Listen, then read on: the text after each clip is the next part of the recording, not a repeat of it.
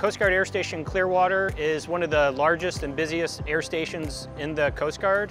We're located at St. Petersburg Clearwater Airport, which is in the northwest corner of Tampa Bay.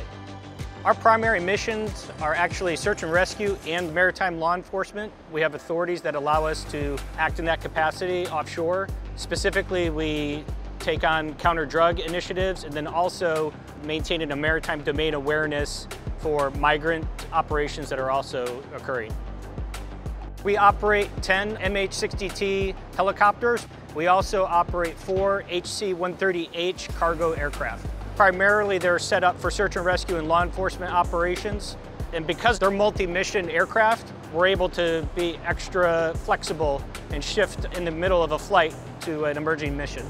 The Coast Guard Air Station's area of responsibility encompasses all of the 7th Coast Guard District. So that encompasses the state of Florida, Georgia, South Carolina, Puerto Rico, the U.S. Virgin Islands, and the entire Caribbean Basin. It's actually an area of 1.8 million square miles.